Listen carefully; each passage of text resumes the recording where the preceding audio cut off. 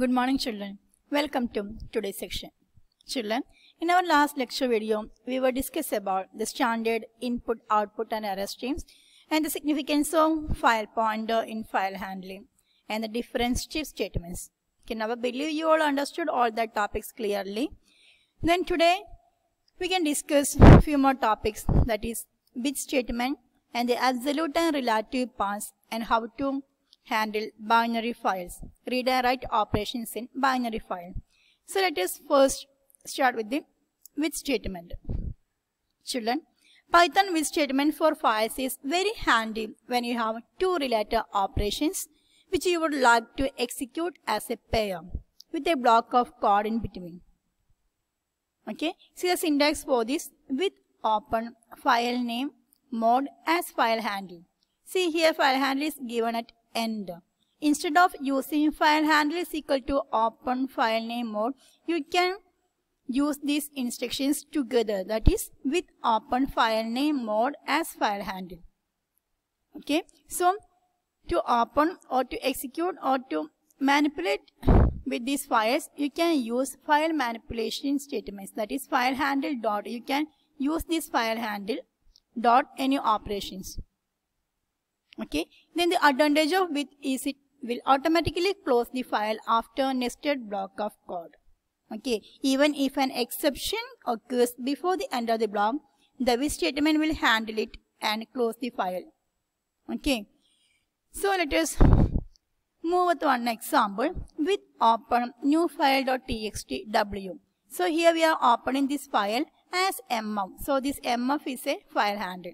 Then mf.write welcome to file handling.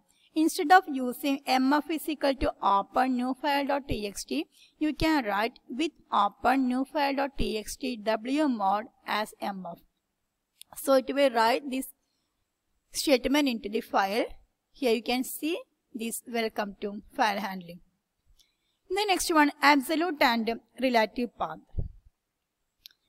See the full name of file or directory or folder consists of path slash primary name dot extension.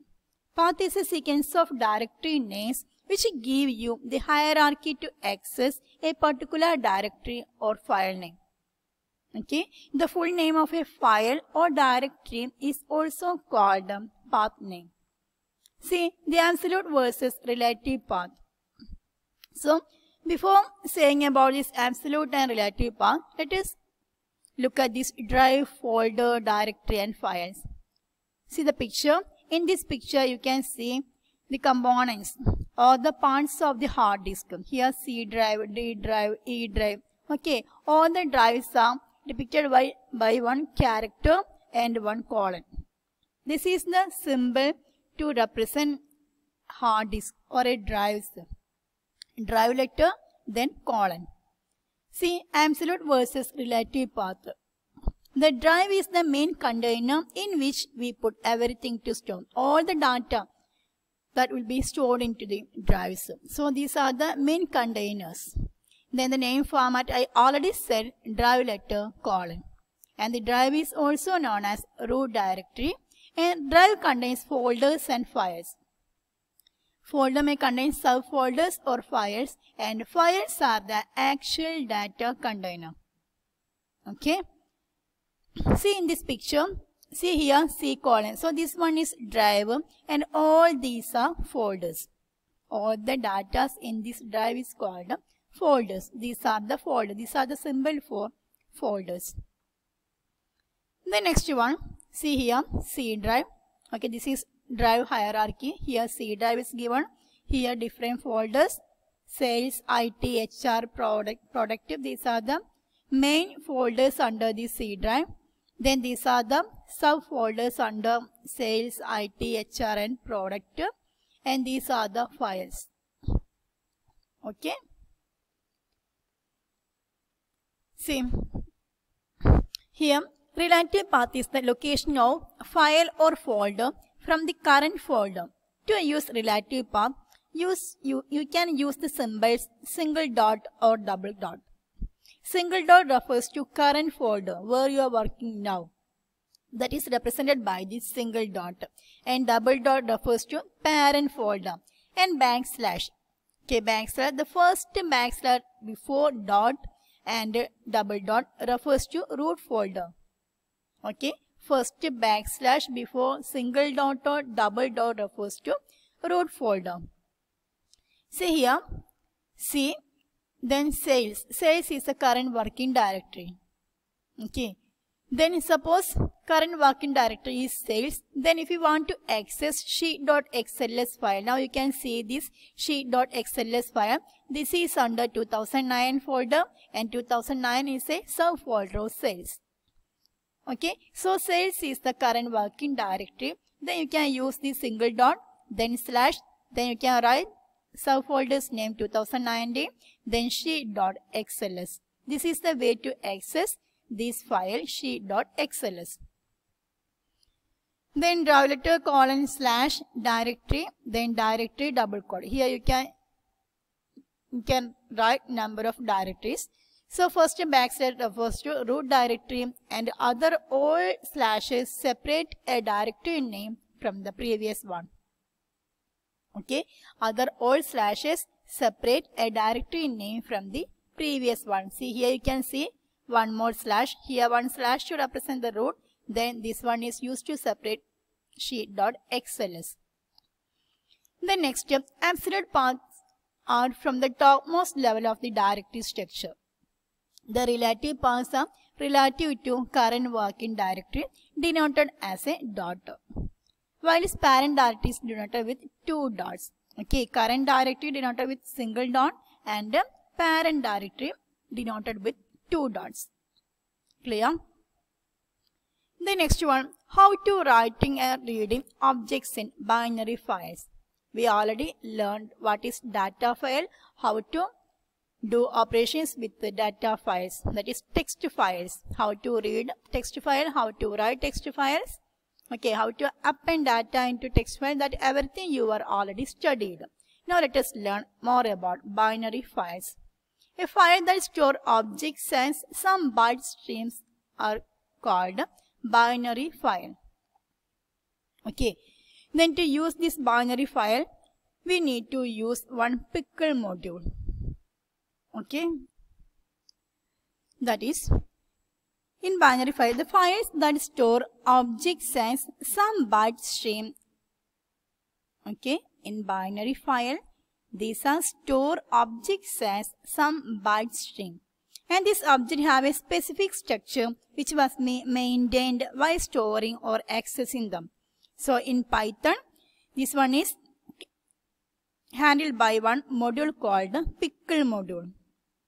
Okay, and the pickle module implements a fundamental but powerful algorithm for serializing and deserializing a Python object structure.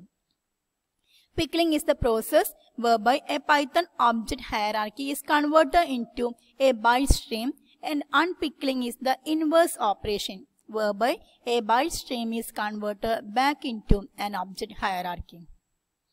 Okay, pickling that is converted into a byte stream and unpickling is used to do the inverse of pickling.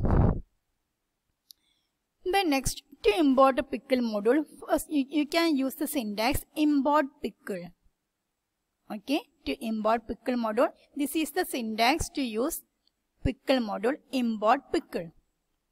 Okay, then in order to write an object onto a binary file open in write mode, you have to use a dump to write, okay, and load to read. Two types of operations. First one dump, second one load. Dump operation is used to write data into binary file and load operation is used to read data from binary file. Then the syntax for this dump is pickle.dump object to be written, then file handler of open file. For example, pickle.dump list 1, comma file and pickle.dump student1, comma file 2. Okay, see the program. Here import pickle. My file is equal to open project.txt wb okay? Binary file open in write mode. Then here one dictionary is defined. Then pickle.dump dict1 my file. Okay? So this dictionary will write into this my file. My file is a file handle of this project.txt. Then my file.close. Then this data will be loaded into this file. See which data is stored in this file. Okay, so when you write something in this binary file, the content is some kind of encrypted format and is not in complete readable form. Okay, when you write anything in this binary file, some extra characters will be added with it. That's why the letters are like this. See another one import pickle mf is equal to open project.txt wb here dict1 is equal to pickle.load my file.close okay here dict1 is equal to here one dictionary is defined pickle.dump dict1 dot comma mf mf dot close here we writing this dict1 into mf and here one more program. Here we also open this file in read mode. Here dict1 is equal to pickle.load this one is used to read data from this file. Then print dict1 okay so print item 1 is dict1 of 1 now you can see whatever what the data is printed on the screen see here that these are the data we inserted into the file by using pickle.dump then now we read this data by using pickle.load. Okay, so here you can see the data. Okay, item 1 is A. And also the dictionary is printed on the screen. So this is the use of dump and load function. So children, now I believe you all understood how to work with these binary files. So anyone have any doubts, please note down in your notebook and clear your doubts in the live section. See you again with another topic. Till then, bye. Thank you.